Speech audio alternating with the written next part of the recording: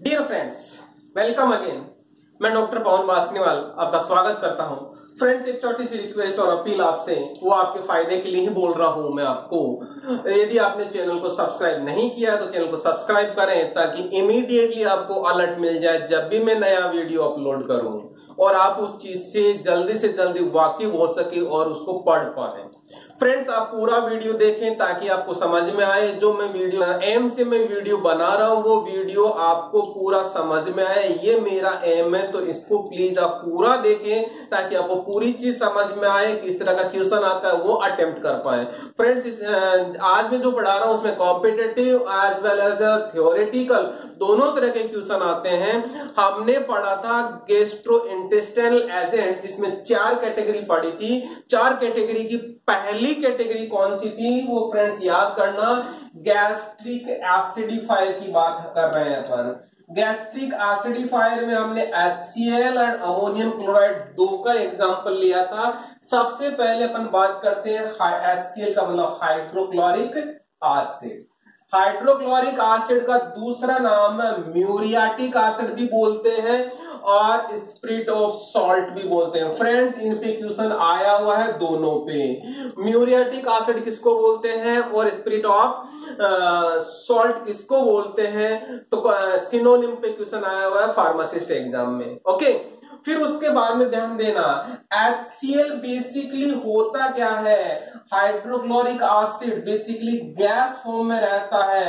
Mostly students को नहीं पता होता है, क्योंकि आप जब लैब में देखते हैं, HCl की बात करते हैं डाइल्यूट या कॉन्सेंट्रेट तो आपको बोतल में ही दिखाई देता है, लेकिन आपको गैस फॉर्म में नहीं दिखाई देता।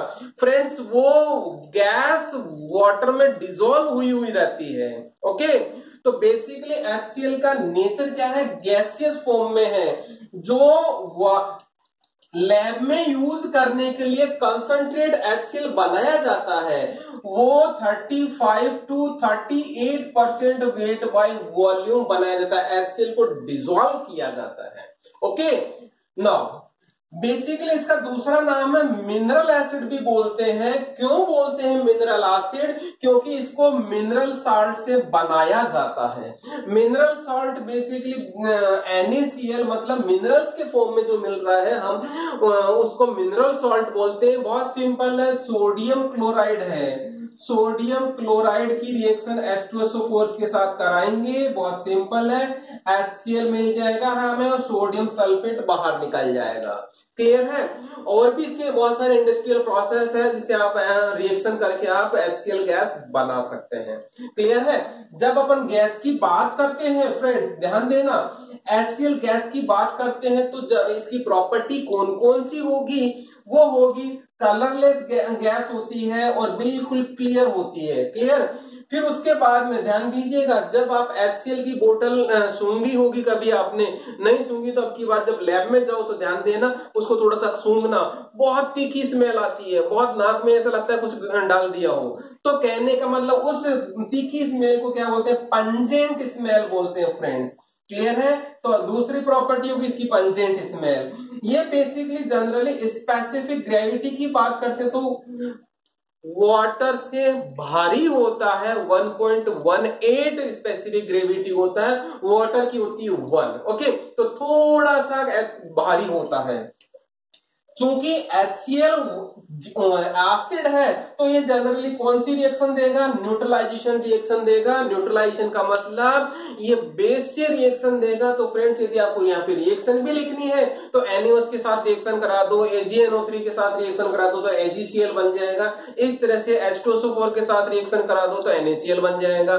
फ्रेंड्स अमोनियम हाइड्रोक्साइड के साथ रिएक्शन कर दो अमोनियम क्लोराइड बन जाएगा। इस तरह से आप बहुत सिंपल सिंपल रिएक्शन लिख सकते हैं। यदि सब्जेक्टिव क्वेश्चन आता है? यूनिवर्सिटी एग्ज़ाम्स में रिलेटेड क्वेश्चन आता है। तो बहुत सिंपल सी एसिड है। बेस के साथ रिएक्शन करा दो। बेस के साथ रिएक्शन कराने पे क्या होगा? वाटर मॉलिक्यूल निकालते जाओ और जो सॉल्ट बनता जाएगा। क्लियर है? नाउ अब बात करते हैं इसके यूजेज की। यूजेज क्या क्या है? बहुत सिंपल है। इसका नेचर है, वही उसका यूज़ है। मतलब एसिड है तो as a chemical and as a acid industry and laboratory दोनों में यूज़ होता है। एज ए केमिकल भी यूज़ होता है एज ए एसिड भी यूज़ होता है। इंडस्ट्री में भी बहुत ज़्यादा यूज़ होता है और अपनी लेबोरेटरीज में चाहे मैं ट्वेल्थ क्लास की बात करूँ, चाहे बीएससी लेवल की बात करूँ, चाहे रिसर्च लेबोरेटरी की बात करूँ, चाहे मैं बी फार्म लेवल की बात करूँ, चाहे डी फार्म लेवल की, किसी भी लेवल की बात करता हूँ तो वहाँ पे एचसीएल ज़रूर काम आता, हर लेबोरेटरी में रहता है। इस तरह से दूसरा इसका यूज़ हो गया एज ए एसिडिफाइंग एजेंट की तरह काम करता है। फ्रेंड्स ध्यान दीजिएगा, आपने लैब में देखा होगा डायल्यूट एचसीएल या किस तरह से लिखा होगा? लेबोरेटरी में डी आई एल और एचसीएल इस तरह से भी लिखा होगा, उसके लेवल के फॉर्म में होगा। वो बेसिकली कितना परसेंट होता है? Ten percent weight by weight होता है वो। और यदि मैं उसके रेंज की बात करता हूँ तो ten point five to nine point five percent रहता है। इस पे भी कॉम्पिटेटिव एग्ज़ाम में क्वेश्चन आ गया कि डायल्यूट एचसीएल कितना परसेंट होता है। ओके आप बात करते हैं, जैसा कि हमने गैस्ट्रिक एसिडिफायर की बात करते हैं एचसीएल है तो डाइल्यूट एचसीएल 10 परसेंट को, उसको लगभग लगभग 50 टाइम्स 25 टू 50 टाइम्स वाटर से डाइल्यूट करते हैं, उसको डाइल्यूट करते हैं पानी मिला के और जब वो बन जाता है वो एक स्ट्रेंथ बनती है दैट इज़ स्पेसिफिक स्ट्रेंथ है 15 मिली इक्वलेंट ऑफ़ एसिड इतनी स्ट्रेंथ बन जाती है, तब उसको as a gastric acidifier use करते हैं। और टू ट्रीट किसको किसको ट्रीट करते हैं? ए क्लोरहाइड्रिया क्लियर है? या जिसको अपन ने बोला था हाइपोक्लोर हाइड्रिया ये है फ्रेंड्स इसका यूज़ तो फ्रेंड्स आपको एचसीएल समझ में आ गया होगा, बहुत इजी है। तो इसको मैं रिवाइज करता हूँ, बहुत सिंपल है। एचसीएल है गैस है लिक्विड नहीं है। और मीन म्यूरियाटिक एसिड है स्पिरिट ऑफ़ सॉल्ट है।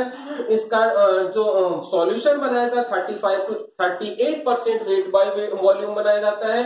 मिनरल सॉल्ट से इसको बनाया जाता है। एनएसीएल की रिएक्शन एस्ट्रोसोफोर से रिएक्शन करवाते हैं तो एचसीएल गैस बन जाती है।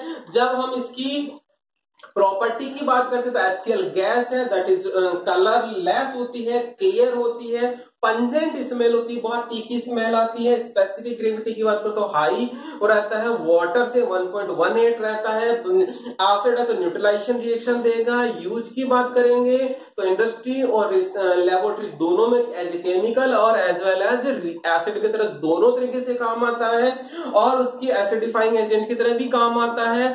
डाइल्यूट एचसीएल कितना होता है? टेन परसेंट रहता है। रेंज की बात करो तो साढ़े दस से साढ़े नौ परसेंट रहता है और मैं इसकी इसको 50 टाइम्स डाइल्यूट करूँगा तो 15 मिली इक्वलेंट एसिड बनता है। That 15 milliequivalent is used as a gastric acidifier to treat hypochlorhydria और achlorhydria this is all about HCl, that is, as a gastric acidifier.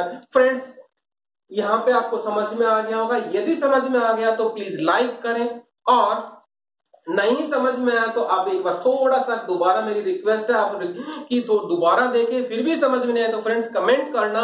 और मेरे से पूछना, यदि सर समझ में नहीं आया I will explain hundred percent और यदि आपने यहीं पे यदि चैनल को सब्सक्राइब नहीं किया है तो रेड कलर का आपके सामने बटन होगा, उसको प्लीज़ क्लिक करें, और ताकि आप सब्सक्राइब कर लें, और उसी में आपका फ़ायदा है friends thank you for thank you for watching thank you